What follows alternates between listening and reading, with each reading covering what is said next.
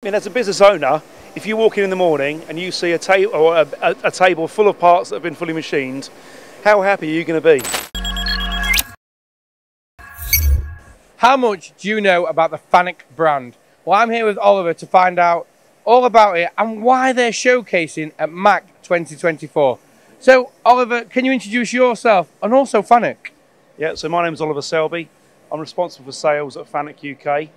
So, Fanuc UK, we sell CNC controls, robotic solutions, and also a range of machines, including the Robo Drill and Robo Cut, um, Vertical Machining Centre, and Wire EDM. You do a bit of everything. We do a little bit of everything, yeah, which is beneficial for us. Um, the fact that we're here, you know, we've got a huge customer base we can talk to. Well, before we get into why you're here in MACH, you actually are partnered with MACH and the MTA and you have something a little bit special on the MTA stand, which we're actually going to have a look at. So, what Absolutely. can you tell me about your partnership with the MTA and MACH? So we've been MTA members for a long, long time, and obviously, as one of the world's largest manufacturers of CNC controls, we know many, many of the MTA um, uh, clients as well. You know, the members. Um, this year, the MTA have put a real big focus on automation. Uh, you'll see a lot of robots around the around the show, around 70 in total um, wow. around the show. Um, a huge mixture of different robots. What we wanted to show on the MTA and, and the MTC stand was how easy it is to actually automate older machine tools, which a lot of our UK manufacturers are still using. You know, we're very proud of the fact we keep our machines working. Now, this machine you can see behind me is still white and yellow, which is the Fanuc colours, but how old is this machine? And don't forget, don't get me wrong, this has been running all week. Absolutely right. So um, this machine actually has got the date of uh, August 1992 on it. You know, so um, yeah, it's 32 years old or so, which is pretty impressive. Um, we had to do a little bit of work to keep it up to the current standards from a safety perspective, but it is still capable of running. It's still capable of, of cutting, machining. You're going to get run over by an AGV there. Brilliant. Uh, so, um, but yeah, it, what we wanted to show on this particular demonstration was the fact that you can still automate older machine tools it's been done in quite a simple way with a, lo- a low tech way of uh, managing the start, stop, the, the reset functions of the machine tool. We actually let the robot press the green button. That's better trusting me. And I'd just like to say that that machine is only two years younger than I am, and it looks in better nick than I am. Well, I don't believe that. So now, like you said, there's a lot of people in the UK with older machines who worry they can't automate, and with the skills gap and the skills shortage, automation is becoming a very big thing in UK manufacturing. So it's great that you have a solution that not only benefits people with brand new machines, brand new technology, but also machines they've had for 30 plus years. Absolutely right. So again, we're very proud of the fact we do keep machines running. Of course, we've got um, contracts that are in place with those bigger um, UK manufacturers that need to keep running. Um, certainly in, in, in um, applications and industries like aerospace, uh, have very, very long um, project times, build times, and contracts that are in place. So we have to keep, keep the machines going for that length of time. But for those customers that actually do have shorter term contracts, um, it's the actual flexibility that automation is now bringing them that they can actually take advantage of. So, and it's important to actually make use of the, the high levels of technology that are involved in, in um, keeping those machines flexible um, when we actually look at those um, or, or the, the, the, adoption of automation. So, in, including things like vision systems to make um, part changeover very quick, making sure that the actual control systems are very easy and flexible to, to connect to different machines. That's what gives the, um, the, um, the, the, adoption of robotics on older machine tools um, a way forward.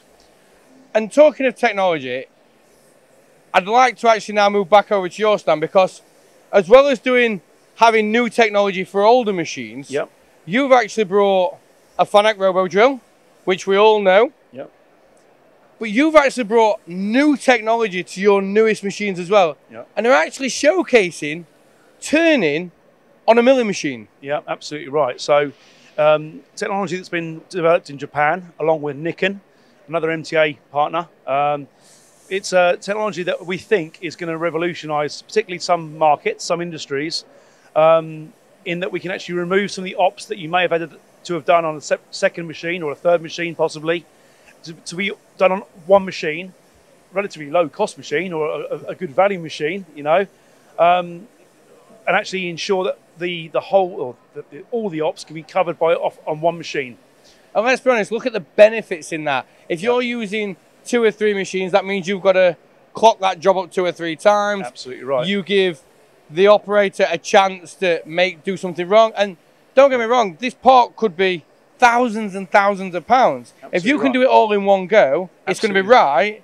But and it's just going to be better in the end of the day. Absolutely right. So you reduce the tooling cost, you know, the fixturing cost, the setup times. That can all be programmed on CAM, which makes a huge, huge difference. So it's, it's a one-hit wonder. And the thing is, it's it's like what you've just said is what people now need to be looking at. It's all right saying, yeah, but it's a it's an expense. It's an expense to have a trunnion put on. Yeah. Yes, it is. But look at the savings you will make in the long run, or even Absolutely actually the short run. Yeah, looking at what right. you've got on this machine. Absolutely right. So where we see uh, great advantage with the solution from Nikken, um, and where we're going to focus it this year is actually in aerospace. So we see um, we've got at the end of the year the Farnborough Air Show, or in July. Um, it's coming around sooner than you think. Um, for that, you see a huge um, effort being put in place by the Farnborough organisers to um, focus on eVTOL, so electric vertical takeoff and landing. You know, drones. You know, each of those will require motors or, or uh, engines to be put in place. We see this as an absolutely perfect um, platform to develop the, the machining technology that will be involved in actually creating those motors for drones. You know, so we have turning, we have milling, we put in place really high tolerance um, machining operations and metrology operations in the same machine.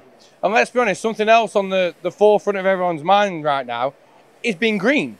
and you right. have a great system on this machine to show people how much energy you're using and how they can actually help themselves be more energy efficient. Absolutely right. So every Fanuc machine is designed to be energy efficient, to be um, the best it can be in class. Okay, so that's from robots through to CNC controls through to the injection molding machines we do.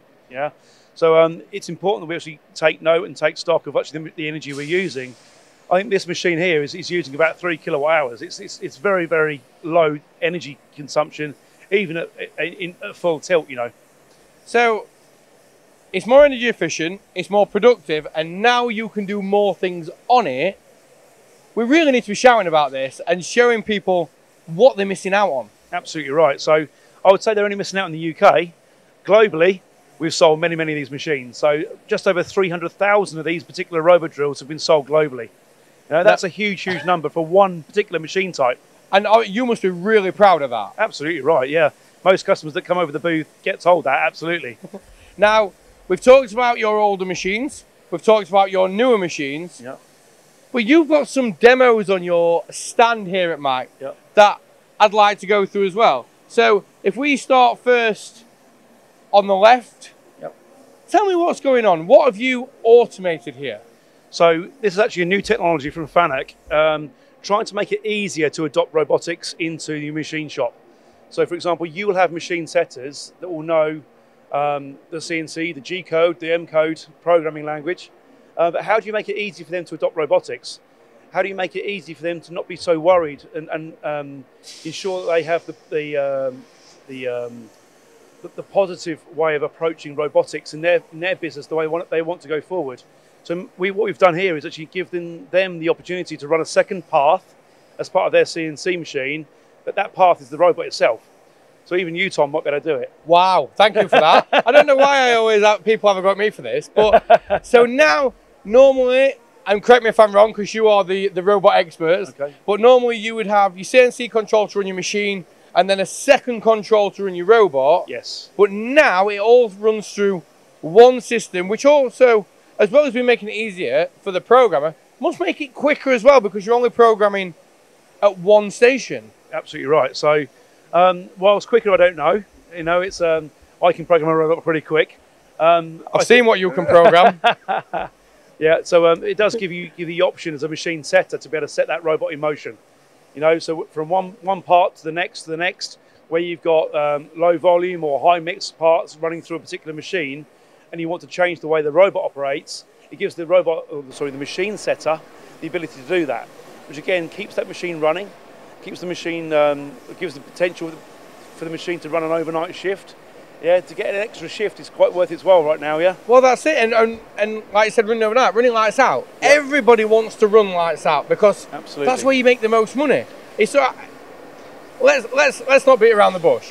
When your machine's running at work, it's making money, Yep. but also your staff's there taking that money. Exactly. But if you come in overnight, Yeah. your machine's making money and you're not losing anything. Yeah, yeah. So I mean, as a business owner, if you walk in in the morning and you see a table or a, a, a table full of parts that have been fully machined, how happy are you going to be?